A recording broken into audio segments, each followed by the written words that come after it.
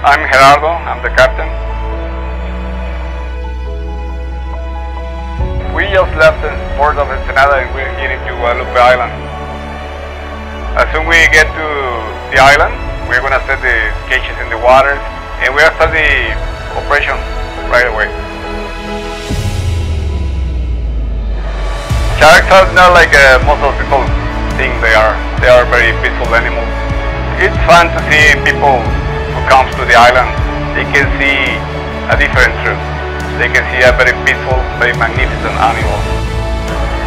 This kind of uh, tourism is called nature tourism because they see the animals in their habitat and the behavior they have